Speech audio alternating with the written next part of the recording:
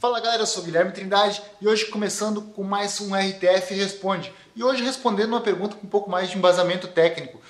Muita gente perguntou lá no nosso vídeo da luta contra o Rafael Mendes, na luta de boxe, o que, que estava sendo injetado na minha mão, o que estava acontecendo, o que estava sendo martelado, o que, que era aquele aparelho, enfim. A gente está aqui com um ativador e ela vai explicar para nós o que, que é e o que faz esse aparelhinho. Ela é a Bruna Grando, para quem não conhece, a minha fisioterapeuta, que já apareceu em outras oportunidades aqui no canal RTF. Olá pessoal, esse é o ativador. O ativador ele serve para fazer ajustes da biomecânica dos ossos. É utilizado tanto na osteopatia quanto quiropraxia. Ele, com um impulso mecânico no osso, a gente ajusta o movimento do osso.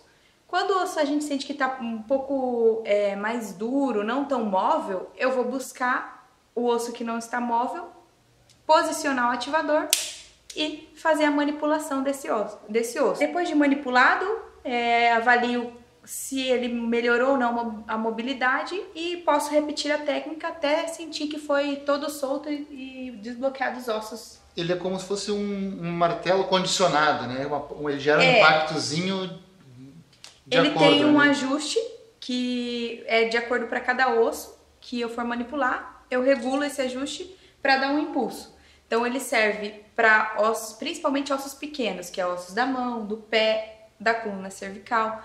Em geral dá para ser utilizado em tudo, dá, mas sempre com um objetivo determinado para cada paciente. É quase como se fosse um martelinho, mas para o corpo humano, um martelinho de ouro, aquele. É, dos...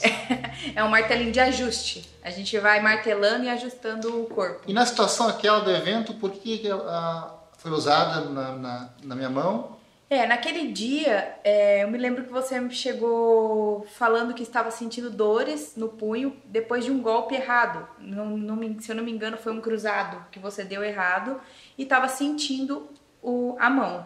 E eu avaliei e esse osso aqui, que é o escafoide, é um osso que estava um pouco bloqueado e naquele dia eu estava ajustando antes da luta, para que você entrasse sem dor na luta.